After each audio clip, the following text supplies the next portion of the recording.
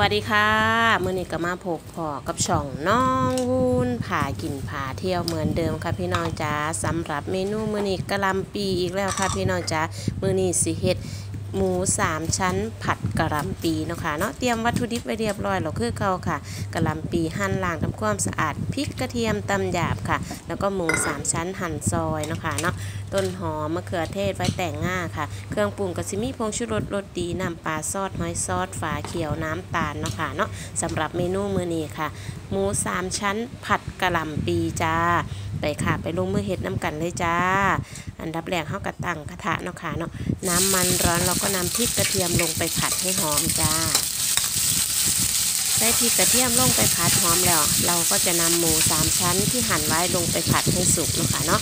นี่ค่ะพอได้แบบนี้ก็ใส่หมูสามชั้นของเฮาลงไปเลยจ้า ผัดไปเรื่อยจนหมูสามชั้นสุกจ้า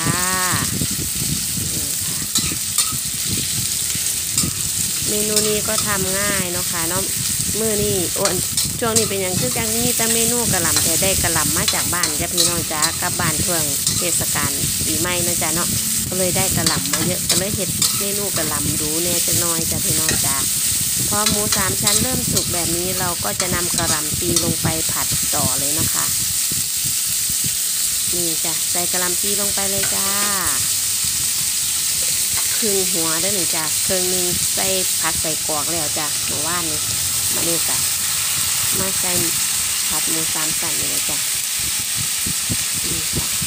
ใส่กระหลำปีลงไปหมดเลยนะคะ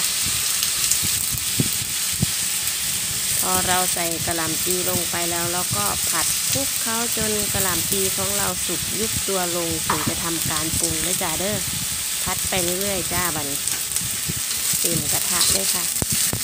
คอยส่งเอาจ้าพี่น้องจ้าใช้ตะหลิวของเราส่วนลงไปทางล่างแบบนี้ค่ะกระลำปีเป็นพักที่เฮ็ดเอียงกินกระแสด้วยจ้าด้อกินดิบกระแสบกรอบหวานจ้ายิ่งเฮาปลูกเองปลอดสารพิษแห้งปลอดสารพิษสารพิษนะจ้าเนาะแห้งแซบจ้าไม่ได้ใส่ยาขามาแดงนะจ้าเนาะ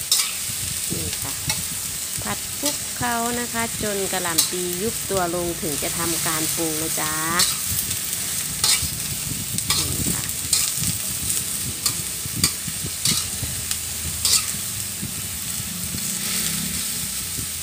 กะสิพัดยากได้จังน้อยได้จากกระทะมันหน่อย นี่ค่ะ ยุบตัวลงแบบนี้แล้วก็สิปรุงกันเลยได้จ้า มาค่ะปรุงกันเลย ใส่ผงชูรสจ้า ตามด้วยน้ำตาลค่ะ ตามด้วยรสดีนะคะ น้ำมันหอยค่ะอืมน้ำมันหอยแล้วก็ตามด้วยซอสฝาเขียวค่ะ แค่นี้ค่ะพี่น้องจ้าใส่เครื่องปรุงทุกอย่างลงไปแบบนี้แล้วก็พัดคลุกเข้าให้เครื่องปรุงเข้ากันค่ะพี่น้องนี่แค่นี้ก็เป็นอันเสร็จเรียบร้อยค่ะพี่น้องจ้าสำหรับเมนูหมูสามชั้นผัดกะหล่ำปีเนาะค่ะเนาะซิมเบิงรสชาติแซ่บเท่ากับสิเฮ็ดขั้นตอนสุดท้ายเลยจ้านี่ค่ะ ใส่พริกก็ได้ไม่ใส่พริกก็ได้เนาะค่ะเนาะสำหรับเมนูนี้นะจ๊ะเนาะบางบ้านมีเด็กหน่อยแต่ แยกออกตักออกก่อนจังใส่พริกที่หลังก็ไดเด้อจ้า นี่ค่ะ ชิมดูรสชาติอร่อย แล้วก็ทำขั้นตอนสุดท้ายเลยนะคะ ผู้ใดมักรสชาติแบบใดก็ซิมเอาตามใจชอบของเฮาค่ะ โอเคค่ะ ก็จะได้มาหน้าตาแบบนี้เนาะค่ะเนาะซิมเบิ้งค่ะพี่น้องจ้าแซบแล้วขั้นตอนสุดท้ายเมนูกสิใส่มะเขือเทศ เพิ่มสีสันให้สวยงามเนาะค่ะเนาะ ตามด้วยต้นหอมค่ะนี่